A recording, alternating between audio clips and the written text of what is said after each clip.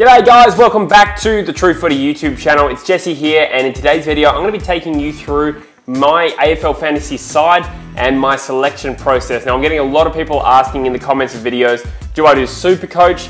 To be honest, it's not something we've done previously or myself. I've never actually played Super Coach before, but I am thinking about starting a league this year and getting involved. Nonetheless, uh, I certainly have done AFL fantasy in the last couple of years. If you've been watching the channel for a few years, you'll know that we do a league every season. Uh, this is going to be no different. So uh, I'm going to set up an AFL Fantasy League and leave the invite code in the description of this video and maybe even pin the comment as well. So uh, if you're watching this video, feel free to join the league. We had like over 100 people join last year and it was really lots of fun. I might do the same for Super Coach as well, just bear with me. But for today's video, we're just going to go through my AFL Fantasy team and why I've picked the players that I have. Now, I'm definitely not an AFL fantasy whiz, as I'm sure you'll remember if you watched last year. I finished pretty much like mid-table, and that's probably generous actually. That being said, I feel like I've learned a lot, I've gotten better, and I'm hoping this year I give the top 10 a real good shake. I think pretty much the main new thing from AFL Fantasy this year is that they've added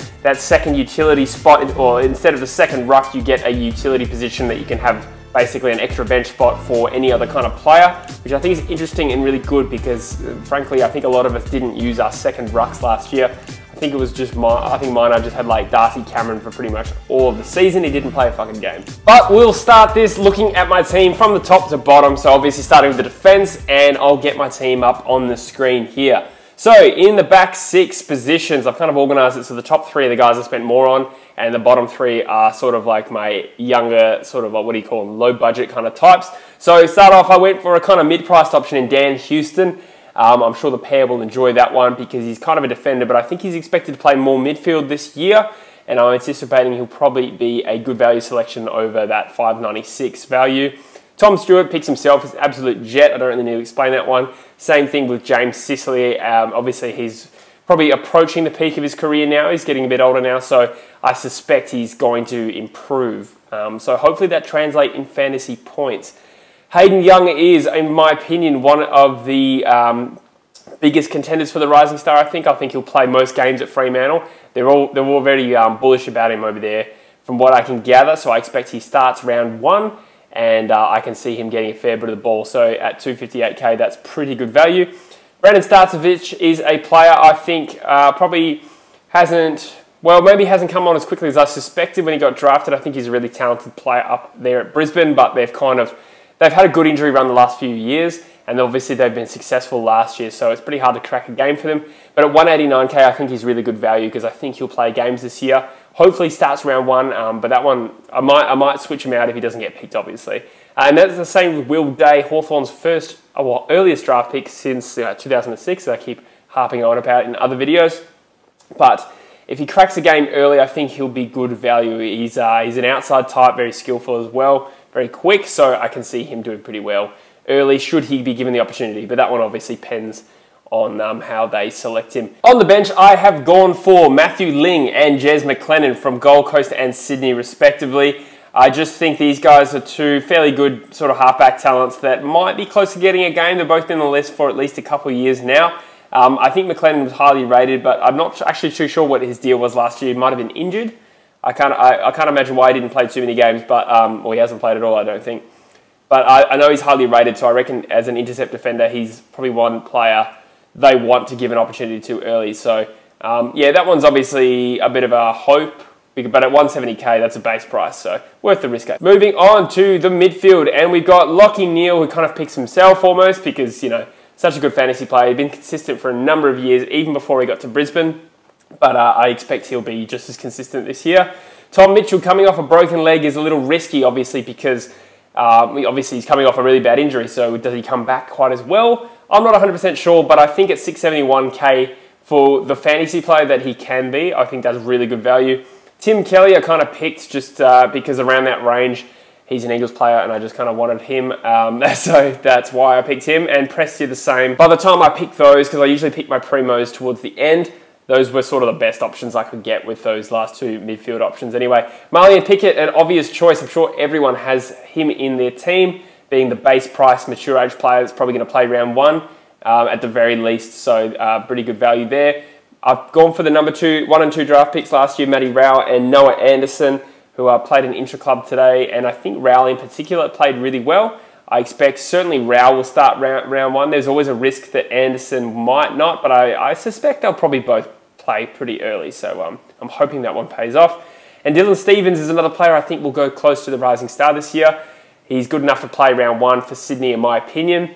So I'm hoping they, uh, they repay the faith there and uh, give him some early games. But um, I think he is a really good choice there. And then I've picked the two midfielders, Ned McHenry, um, who's a, obviously a base price player and a high draft pick for Adelaide last year. And I think for where they're at, they're going to give games to these sorts of guys. He'll get an opportunity early. And Cooper Stephens, Geelong's uh, number, I think he was their first draft pick this year, actually, um, in a year where Tim Kelly's just left. Jack Stevens started the year injured. He might get a gig early, especially because they are not afraid to play the youth over there. Now let's move along to down to the rucks. I've gone with two of the better premium options. Obviously, Gawn is injured, so I went with Grundy and Rowan Marshall.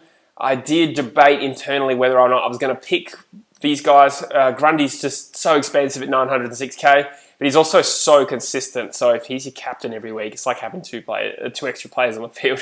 Um, so yeah, no, I, I couldn't go past that one. And then Luke Jackson, I considered being risky and putting him in the ruck two position and using the money elsewhere, but I decided not to in the end. Um, I'm thinking with Gawn out, he gets a gig early. I'm hopeful, but I don't think he's the sort of player who will play 22 games. So that's why I ultimately decided that he would be a better bench option and cash cow sort of um, player there. Moving on to the forward line, another guy that I was one of my first picked is Lachie Whitfield, who was obviously one of the best fantasy players last year. Hence, he's 180, uh, sorry, 844k. Um, if he plays anywhere like he did last year, that's pretty good value. Um, it's just always the risk that he gets injured. Cody Weightman is an extremely talented small forward, just drafted the Bulldogs. I think he's good enough as well, like some of those other young guys I picked, to play early. And um, I think he's talented enough to do well early. I actually think he's another chance for the Rising Star as a sneaky little option. Maybe not win the Rising Star, but I think he'll feature pretty high, sort of like a Brian Myers did. Um, actually, I don't know where Brian Myers ranked in the Rising Star, but you know what I mean. Had a very good sort of season as a small forward, and Toby Greene as well, playing I think more midfield time than ever last year. Um, and he was sensational. He just was probably one of their, arguably their best player when he came back into the side. Andrew Brayshaw as a mid-priced option because uh, I'm picking on value there because he's he's a mid forward, obviously. And I think under Longmuir, there he's going to be playing probably full time midfield minutes. And even if you don't necessarily think he's an absolute gun, I think he's the sort of player who will rack up a lot of the ball. I think he had a three goal, 26 posi game last year. I'm not sure how many fantasy points it was. But my point being, if he gets a lot of opportunity, I think he'll be good value at 500k. Mitch Georgiades, I think if he plays early, which I suspect he will, there's an article today saying he might. Um, he's a real X factor sort of uh, medium tall forward option not so much like I think he's kind of like a almost like a freaky kind of Gunston sort of player. I don't know. Off the top of my head, there's a pretty weak sort of um, explanation. But point being, uh, if he cracks games early, he probably will justify that 236k price. And then finally, I've got Dustin Martin. So you can actually see I've actually spent quite a lot in my forward line and comparatively less in my back line. Um, so I don't know if that will pay off, but we'll see how that goes. And um, pleasingly, I think there's two really obvious choices for bench in the forward line. Izak Rankine is, and Max King are both really, really good players from um, 2018 draft. Is that right off the top of my head? Yeah, it was the 2018 draft.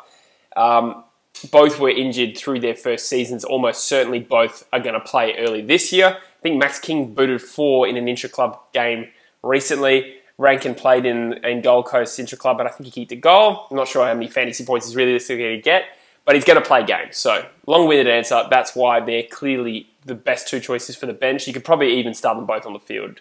And as my final choice, I've gone for Harry Schoenberg as my second ruck slash utility position.